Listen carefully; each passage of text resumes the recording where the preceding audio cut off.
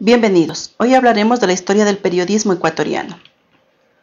Eh, las tres grandes culturas precolombinas, que como son la azteca, la maya y la inca, disponían ya de parecidos eh, elementos gráficos, ideográficos, tales como los dibujos, los grabados, las esculturas, las pinturas, como elementos de comunicación en la época precolombina. En el territorio en, el que actualmente se asienta nuestro país, eh, se considera como procesos primitivos de escritura los signos que se encontraron grabados en tablillas de cerámica blanda que se supone luego fueron transformados en cilindros para ser colocados en un bastón. Estos vestigios son encontrados principalmente a lo largo de la costa ecuatoriana como evidencia de eh, los primeros intentos de comunicación y de peregrinación de la comunicación en la antigüedad. Eh, los glifos, pictogramas y otros grabados en roca pudieron ser un sistema primitivo de, escritura ya en la, antigüedad, aproximadamente hace 2500 años antes de, Cristo. Eh, en nuestro territorio se conoce el uso de los quipus, que era una especie de nudos que se realizaban en cuerdas que pendían de otras cuerdas de mediana largura, dependiendo del mensaje que se iba a transmitir o del mensaje que, se contenía. Eh, también tenían diferentes colores, eh, en la que se hacían nudos a diferente distancia, de diferente tipo, de diferente largo, como lo dijimos inicialmente. Eh, estos quipus servían principalmente para manejar estadísticas sobre muertes, sobre nacimientos, sobre cosechas, batallas, entre otros acontecimientos propios de la, población de aquella época. Eh, como lo mencionamos, el tamaño de las cuerdas utilizadas para elaborar estos quipus, eh, así como el color de estas y el número de nudos, dependían del significado o tenían cada uno un significado específico que requería ser interpretado y habían personas especializadas en esta interpretación que eran conocidos como los quipucamayos. El periodismo en la conquista se desarrolla a través de tres periodos, la colonia, la independencia y el periodo prerepublicano. En lo que respecta a la colonia, los dos primeros siglos de este periodo hay una poca e incluso nula actividad periodística.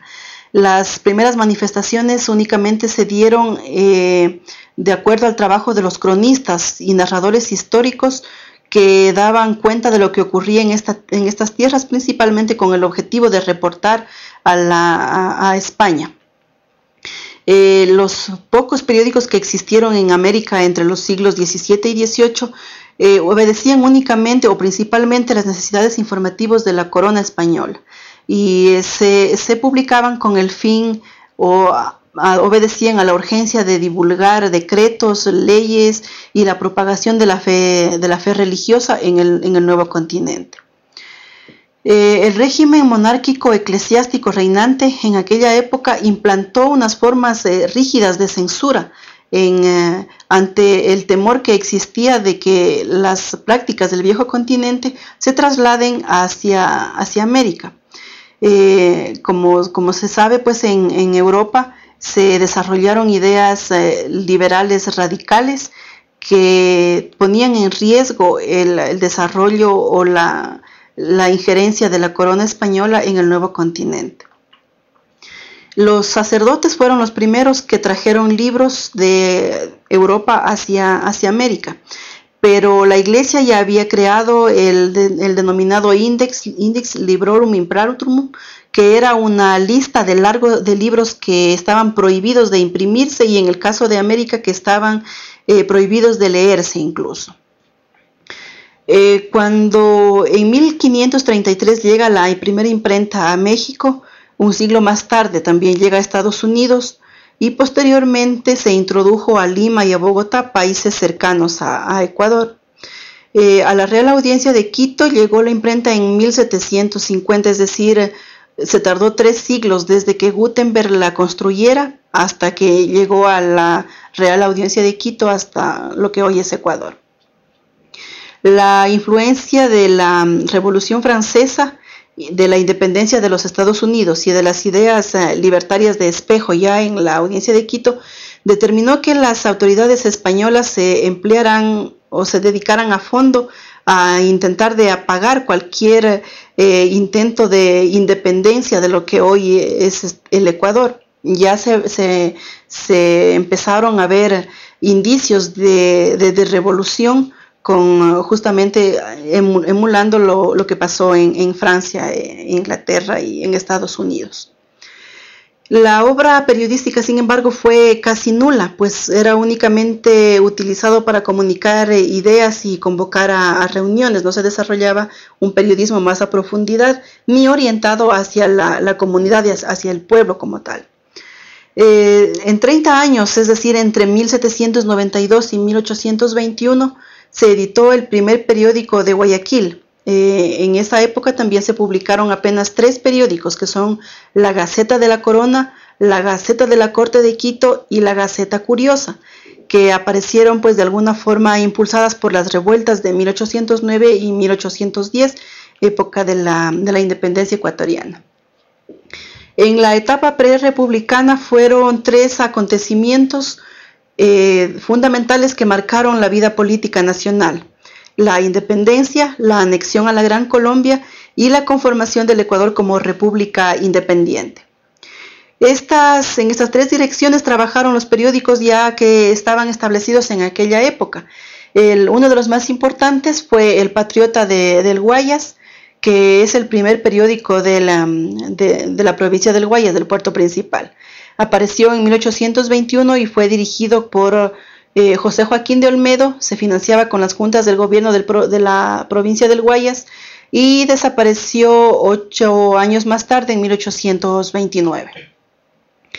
Eh, al igual que en el resto de países del mundo en el siglo XIX, la prensa de nuestro país también respondió a vaivenes políticos, económicos y sociales de la época como en el resto del mundo. Eh, de allí pues que a lo largo de este siglo la prensa se caracterizó por ser chica, por ser efímera, por ser partidista y también combativa. Eh, luego, eh, en el siglo XIX mismo, un importante personaje que, que, asoma en la vida política y sobre todo en el ámbito de comunicación del país es el ambateño Juan Montalvo que es eh, considerado hasta la actualidad como el mayor periodista combativo y panfletario del Ecuador. Eh, pues en, el desarrollo o en la actividad periodística de Juan Montalvo se puede resumir o se puede sintetizar toda la historia del periodismo durante el siglo XIX. Los periódicos que él publicó Montalvo en aquella época crearon en el Ecuador y a lo largo de toda América eh, una conmoción que todavía no se ha imitado hasta la actualidad.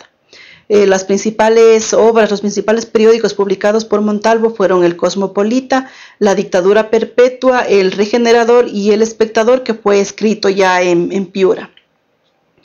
Eh, en los, respecto a los primeros diarios, se puede considerar dos etapas principales que desarrollan el diarismo en el país. La primera se relaciona con el aparecimiento de los diarios de corta duración, mientras que la segunda abarca la de los diarios de un largo, de una, larga vida, eh, de una larga vida de los periódicos o también conocidos como de largo de largo aliento. Esta segunda época es la que consideran muchos eh, estudiosos del periodismo como el verdadero diarismo en el, en el país. A la primera época pertenece la Ilustración, que es considerado como el primer periódico nacional. Este apareció a inicios de los años 50 y fue dirigido por Sixto Bernal. Eh, en cambio, a la segunda época, los, periodos, a los periódicos perdón, de largo aliento corresponde La Nación, que nació en 1878. Fue con, el fin de oponerse a Ventimilla que se, se introdujo el desarrollo de este periódico o la publicación de este periódico en el país. En este medio escribieron importantes eh, personajes de nuestra historia como Manuel J. Calle, Luciano Corral, eh, Urbina Jado, todos de corte liberal, caracterizados por sus pensamientos liberales. Eh, como lo comentamos anteriormente, está el inicio o, el impulso del, periódico La Nación constituye el inicio del diarismo en el Ecuador. Luego se publicaron el Diario de Avisos, que fue otro diario también importante de la época, junto con el Globo, ambos guayaquileños y de corte liberal, y el Pichincha, cuyo redactor fue eh, Miguel Aristizábal. Sin embargo, el diario de mayor relevancia, tanto por la proyección como por ser el único que subsiste hasta la actualidad, es el Telégrafo, fundado en 1884 por Juan Murillo Miró, que nació justamente en oposición a Plácido Camaño. Este periódico, considerado el decano de la prensa nacional, subsiste hasta la actualidad y su mayor característica es haber eh, circulado durante tres siglos distintos, es decir, a finales del siglo XIX, durante todo el siglo XX eh, y hasta inicios del siglo XXI. Este es considerado, pues como les comento, el periódico más importante del país, sobre todo por la trayectoria que, ha tenido hasta la actualidad. Como sabemos, en la actualidad se encuentra este incautado, pero no por ello deja de ser considerado el decano de la prensa nacional en el Ecuador. Bien, con esto hemos revisado de forma breve cómo se ha desarrollado el periodismo en nuestro país, en el Ecuador. A todos, muchas gracias por su atención.